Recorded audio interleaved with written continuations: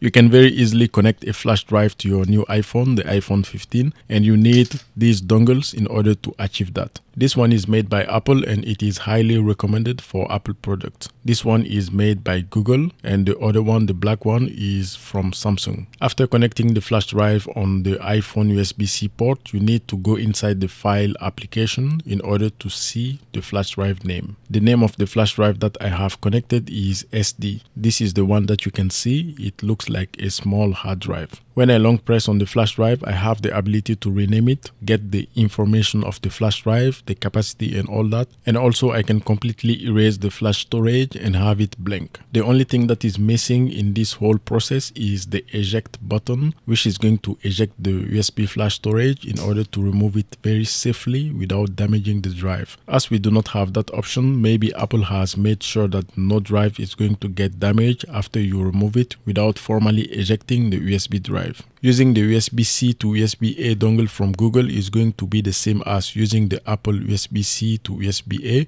It is basically going to do the same thing. You can plug any kind of USB device on the other end and it is going to show up inside your file application. If it is another device like a keyboard, a trackpad or a gaming controller, it is going to work directly on your iPhone without showing anything inside the file application. As far as the USB-C to USB-A dongle made from Samsung, it is going to behave the same as the previous two. If you have a flash drive that is directly going to connect by USB-C, you simply need a cable that is going to connect the iPhone to that flash drive. Here I have a 2 terabyte 990 Pro from Samsung. Here also it is the same thing. I can go inside the information of that flash drive. The main benefit of this flash storage is going to be the speed. This one has speed above 500 megabyte per second for writing and reading. This one is very fast. If you want to connect multiple devices at the same time, you need multiple output from the USB port from your iPhone. For that, the best option is going to be the USB-C hub. Some storage are not going to work with the iPhone. It is the same for this one. This one is 4 terabyte 990 Pro and it doesn't show up inside the file application. The drive has too much capacity for this iPhone. Everything I said applies to the iPhone with USB-C port at the bottom. Subscribe and I will see you next time.